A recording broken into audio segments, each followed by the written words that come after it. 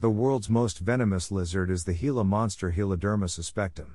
Native to the southwestern USA and northwestern Mexico. LD50, lethal dose, values for its venom as low as 0.4 mg per kilogram have been recorded when administered intravenously in mice. This is comparable to the toxicity of the venom of the western diamondback rattlesnake Crotalus atrox.